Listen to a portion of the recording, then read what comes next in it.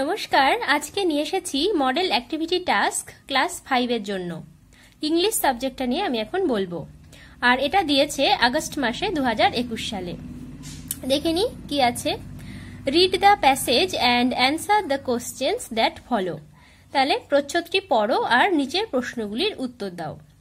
তাহলে এটা প্রথমে পড়ে নি। There was quite a number of good teachers in our school আমাদের স্কুলে বেশ কয়েকজন ভালো টিচার ছিলেন।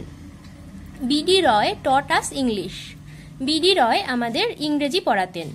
He was a small man who took great care to ensure that we pronounced English correctly তিনি ছিলেন একজন ছোটখাটো মানুষ যিনি আমাদের খুব যত্ন করে শেখাতেন যাতে আমরা ইংরেজি উচ্চারণগুলো ভালোভাবে শিখি। One day, he told us the story of the ox and the frog from Aesop's Fables.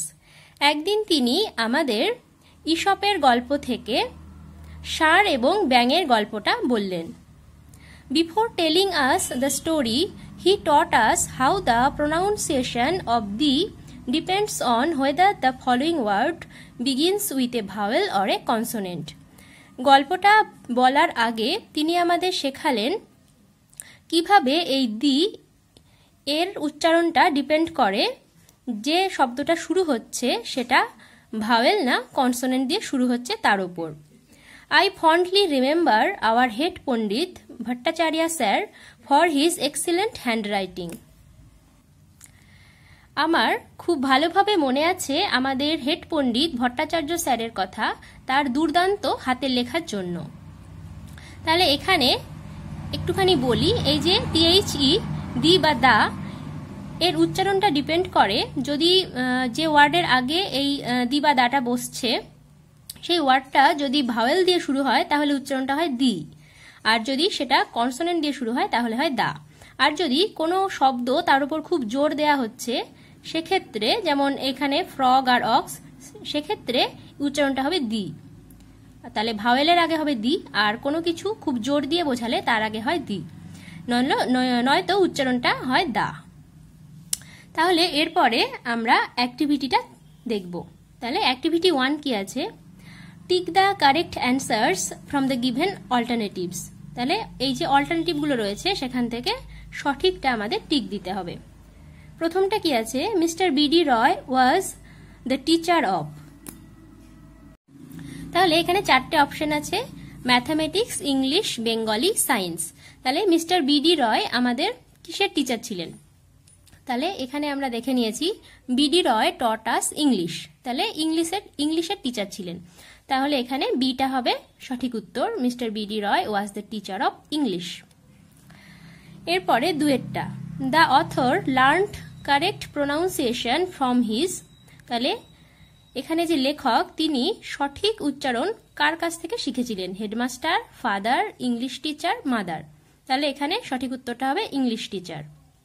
এখানে বলে দিয়েছে যে তাদের যে ইংলিশ টিচার ছিলেন মিস্টার বিডি রয়, তিনি ইংরেজি শেখাতেন এবং প্রোনাউন্সিয়েশনটা যাতে সঠিকভাবে সবাই শিখতে পারে, তার উপর জোর দিতেন। তাহলে এখানে উত্তরটা হবে ইংলিশ টিচার। তাহলে লেখক সঠিক উচ্চারণ শিখেছিলেন তার ইংলিশ টিচারের কাছ থেকে।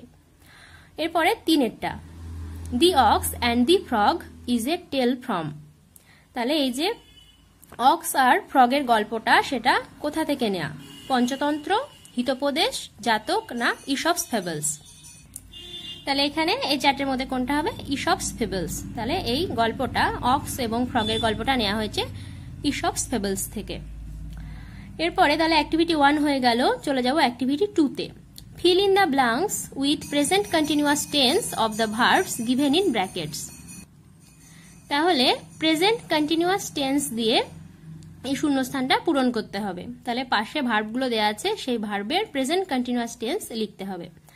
এক, এরটা কি আছে? দ্য বয় ড্র আছে, এই পিকচার তাহলে প্রেজেন্ট কন্টিনিউয়াস টেন্সে কি হয়? যেটা সাবজেক্ট তারপরে এম ইজ বা আর যেটা তার পক্ষে প্রযোজ্য, সেটা বসে। তাহলে হয় এম নয়তো ইজ নয়তো আর যেটা বসবে সেটা আর যে ভার্বটা রয়েছে তার সঙ্গে আইএনজি যোগ হয়ে যায়।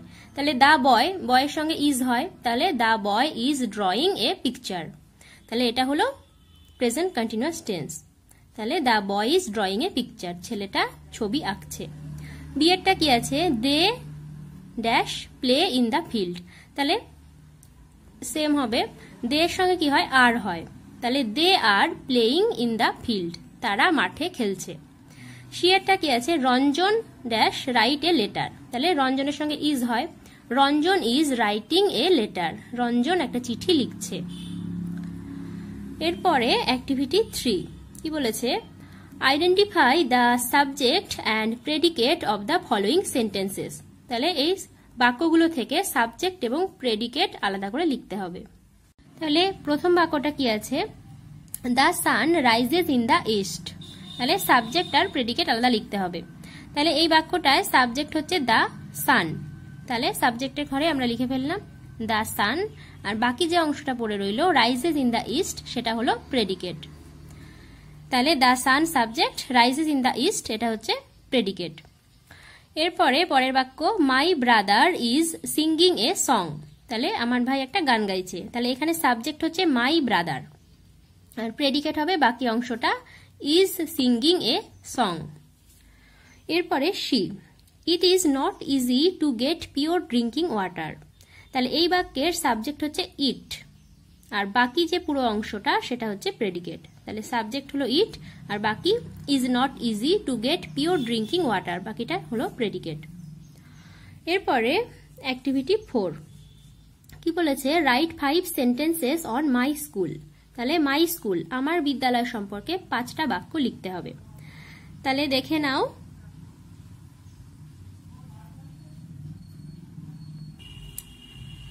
The name of my school is Kusumpur free primary school তাহলে আমার বিদ্যালয়ের নাম হলো কুসুমপুর অবৈতনিক প্রাথমিক বিদ্যালয়।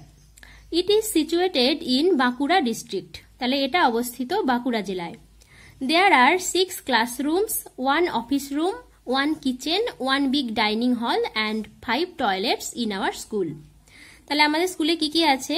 ছটা শ্রেণীকক্ষ, একটা অফিস ঘর, একটা কিচেন আর একটা বিগ বড় একটা ডাইনিং হল আর পাঁচটা টয়লেট রয়েছে আমাদের স্কুলে there are six teachers and one ninety students in our school তাহলে আমাদের বিদ্যালয়ে রয়েছে ছজন শিক্ষক শিক্ষিকা আর একশো নব্বই জন ছাত্রছাত্রী।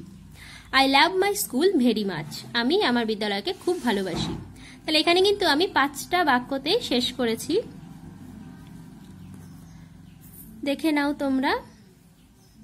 তাহলে আমাদের চারটে অ্যাক্টিভিটি কমপ্লিট হয়ে গেল। ইংলিশটা কমপ্লিট